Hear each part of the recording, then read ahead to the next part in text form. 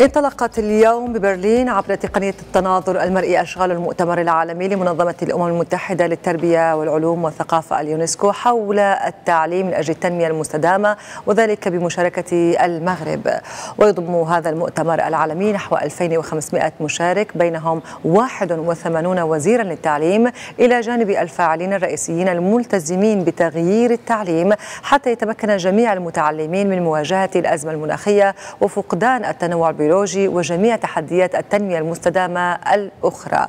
ويهدف هذا المؤتمر إلى أن يشكل محطة رئيسية لإعطاء الدينامية للإطار الجديد للتربية على التنمية المستدامة لعام 2030 كما يشكل فرصة لتوعية الرأي العام العالمي بخصوص تحديات التنمية المستدامة لا سيما أزمة المناخ وتدهور التنوع البيولوجي والدور المحوري الذي يطلع به التعليم باعتباره عاملا رئيسيا في تحقيق أهداف التنمية المستدامة.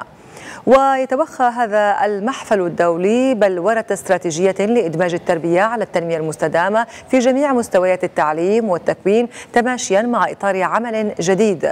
وسيتوج المؤتمر بإعلان برلين للتعليم من أجل التنمية المستدامة والذي سيقترح سلسلة من السياسات تشمل التدريس التعلم التكوين المهني والالتزام المدني. بهذه المناسبة قالت الأميرة للا حسناء رئيسة مؤسسة محمد السادس لحماية البيئة إنه في ظل السياق الخاص الذي يعيش فيه العالم ينبغي علينا نقوم جماعة ببناء توافق جديد وضروري عبر تحديد الأولويات التي نحددها كبشر.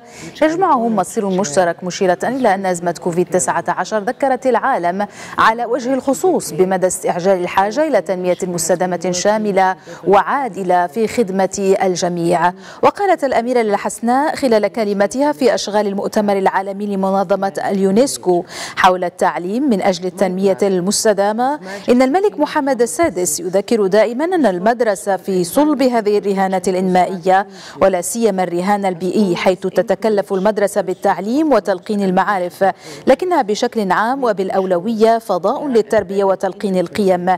لذلك تعد تربية الشباب على احترام البيئة دليلا على الإيمان بوعد عالم جديد أكثر انسجاما واستدامة.